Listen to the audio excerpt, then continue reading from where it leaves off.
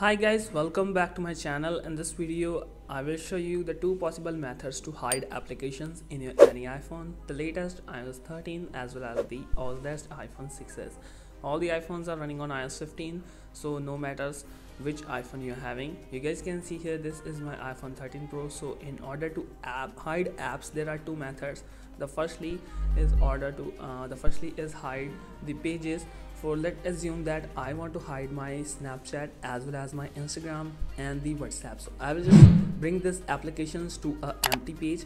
So now just click on these. You guys can see here these apps are in the jiggling mode. So now you guys can see here here is the dots of the app pages. Just click on this one and make sure just unhide or untick that page here and just click on done button here. And there we go. Snapchat whatsapp are hidden in my case. You guys can see here no one can find whatsapp or snapchat in my iphone here. So this is the one or the first trick. And the second one is that in order to hide phone application safari music or messaging application we just need to go ahead to the settings here.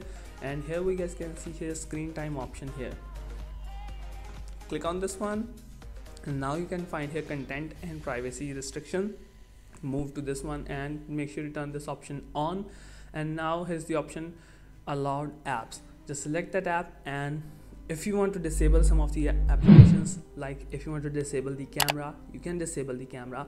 And now no one can find the camera application in your iphone. If you want to disable the facetime app or the airdrop you can disable all these things. And in this way you can just for example hide your these applications which are available in this list here.